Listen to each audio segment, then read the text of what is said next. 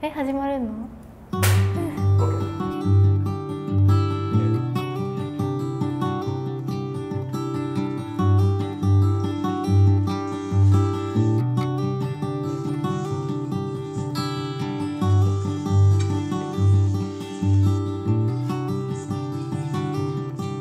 私はくまみきです。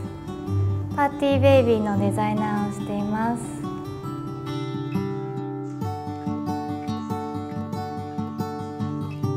私は今5日後に控えた原宿ファッションウォーク presents Pop'n Cute Party の中でやる Party Baby 初のファッションショーの準備をしています、まあ、ファッションショーの準備をしていて準備し始めた頃はやっぱいっぱいやることがあるから家にいなきゃいけなくてみんなで一緒に原宿にいつも行ってたのに自分だけ行けなくってすごい寂しかったりとかそういうのが一番辛かったですでも今はそういう友達がみんな楽しみにしてるよとかいろいろ言ってくれたりしてなんかすごく心強くって寂しいけどでもみんながいるから楽しく今作業しています。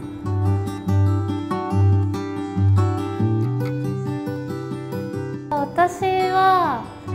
昔から音楽とか運動とかあんまりできなくてでも学校の中で家庭科の時間だけはすごい大好きで自分でもこれだったら自分がすごい出せるなっていうものでだからファッションとか縫い物をすることとかはずっと自分にとって身近な存在でした。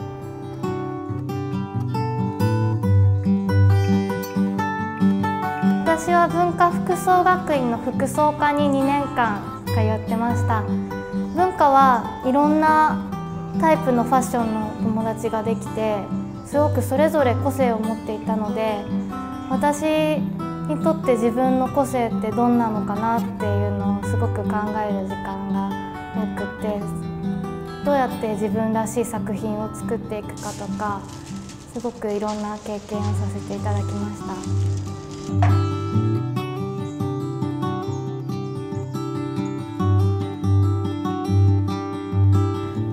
は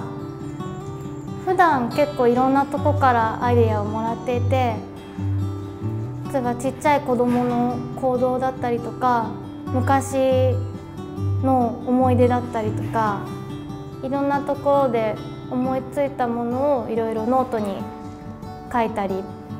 携帯にメモったりしてでそれをカフェとかでじっくりいろんな絵を描きながらアイデアをまとめています。ファッションショーのテーマはデタラメお子様ランチです、えっと、このデタラメお子様ランチっていうのはもともとは私が幼稚園の時に描いた絵が基本になっています。幼稚園の頃に描いた自分の絵をもとにお洋服のデザインを考えて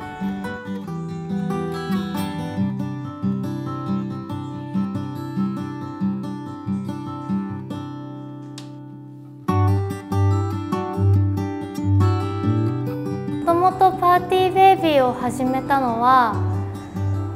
私が文化2年生の時に6%ドキドキの上の2階がラブラブっていうギャラリーだった時があってそのディレクターのミュウさんが誘ってくれてクリエイターたちによるクリスマスの展示会があってそこでやってみないって言われてやってみたのが始まりです。パーティーベイビーのコンセプトは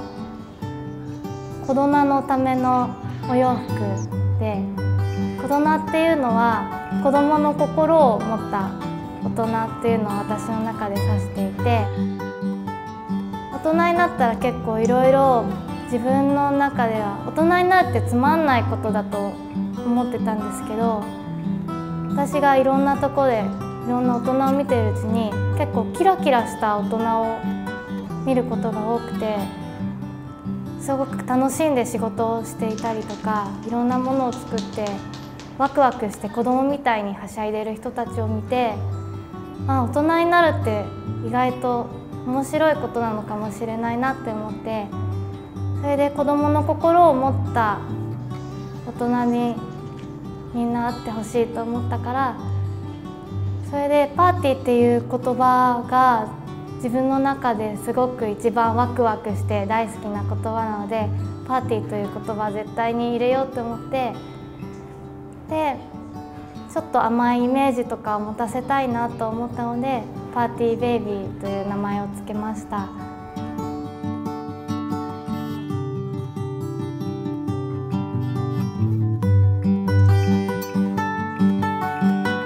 と私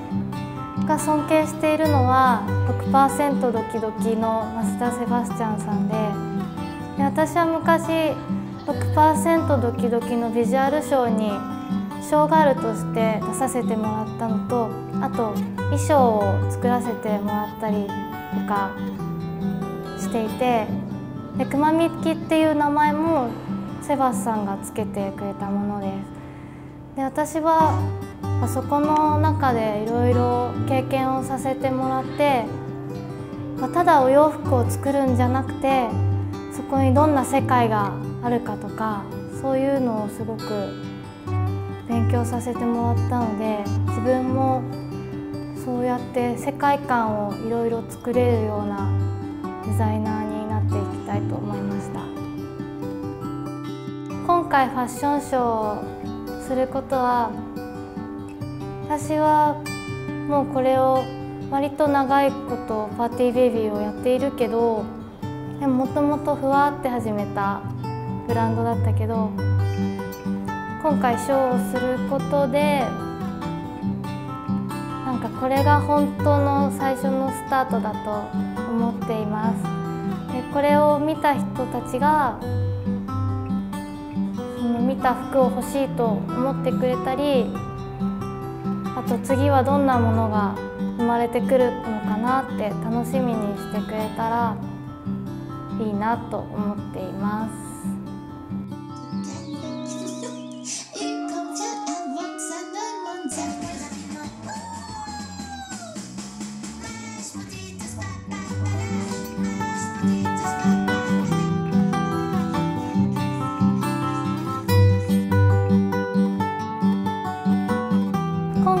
ァッションショーで見てくれるお客さんがみんな楽しんでくれたりあとは誰かの心の中にちゃんと残ってくれたらそれが今回のショーの成功だと思って